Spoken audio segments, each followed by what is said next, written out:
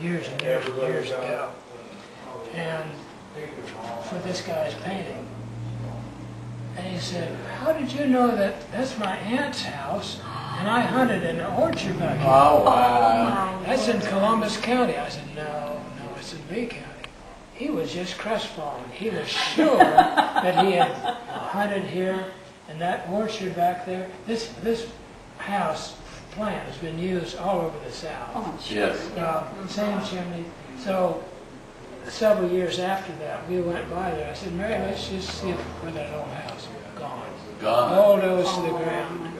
So now I've still got the photo. I don't use it fre- frequently, but then that remarque uh, has a, well, I prefer pencil remarque, but most of my clients now, I had one lady, I did a color remarque and she wouldn't have it. She said, that's been printed on there. I said, no. I had to go back and put a pencil remarque on there so that she could actually know that I did it. She was convinced that had been printed on there. Wow. Oh, for- Ah,